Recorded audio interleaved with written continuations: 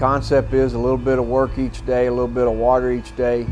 You'll continue to grow, and I think the teams that win championships uh, understand that they continue to grow all the way through the season and even after the season's done when you win a championship. For the first time in nearly two decades, Texas Tech baseball has bloomed as Big 12 regular season champions. And a year long motto with deep roots helped them get there. We show up each and every day, and Tadlock reminds us don't forget to water the tree, don't forget to water the tree.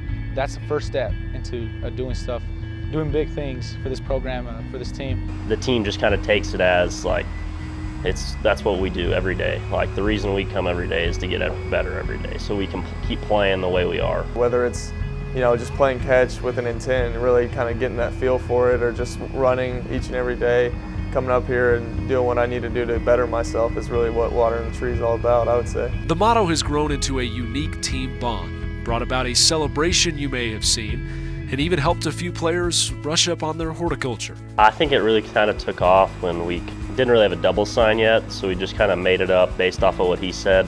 Started using it, and then he kind of caught on to what we were doing, and he would start throwing cups of water at us and stuff. One of those ones in redwoods? I think really huge trees. Yeah, I'd say something like that. I mean, because this team just from the from the beginning, we've been growing at like fast and rapidly. You know, whether it be team chemistry or whether how we're playing. I mean, this team is bonded from the the get go. It is a unique bunch, and these guys have formed a bond now that they have won a Big 12 championship that'll last their lifetime. And the guys have shown, you know, a unique ability to uh, to set things aside and go play for each other.